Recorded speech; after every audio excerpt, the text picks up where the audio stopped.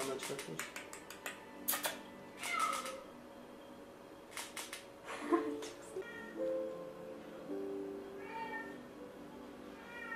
Şey Mart ya o yüzden. Yok. Ben de şey yapayım. Çocuğumun bir problemi yok. İşte şu anki haline geliyor ya. Bu anki geliyor. Yani şurası şey.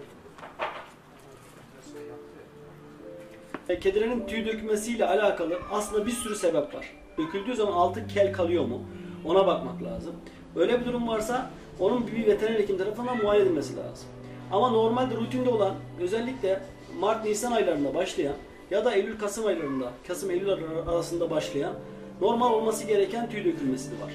Bu tüy dökülmeleri mevsimsel tüy dökülmeleri. Normal insanların e, saçlarının, sakallarının e, ömrünün bitince nasıl döküldüğü, dökülüyorsa bunların da ömrü bitince dökülüyor tekrar. Yani her şey güzelse bile kediler tüy dökebiliyor.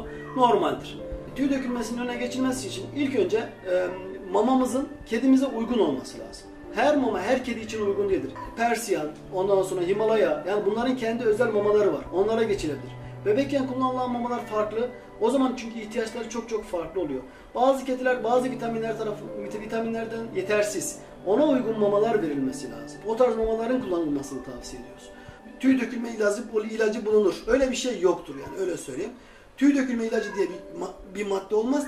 Tüy dökümüne et- etkisini azaltan ilaçlar olabilir. Onlar da içinde B1, B6 vitamini, çinko, bakır olabilen yani e, tüy e, kalitesini arttıracak ürünlerdir.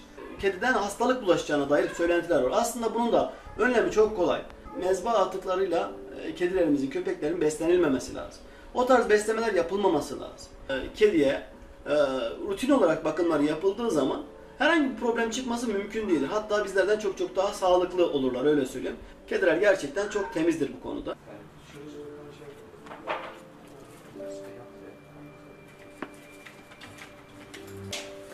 Yapıyordum. İlk başta tepki sonra alışınca şey yaptı.